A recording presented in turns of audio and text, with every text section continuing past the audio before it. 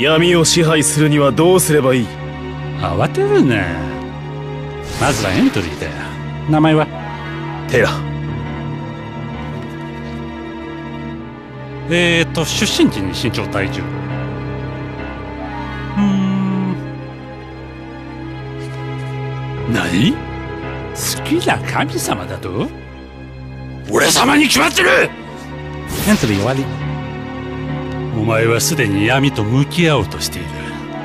闘技大会を勝ち進むことでおのずと闇を支配する術を身につけるだろう。万が一のことがあっても心配無用。アフターサービスは万全だからね。分かった。ええ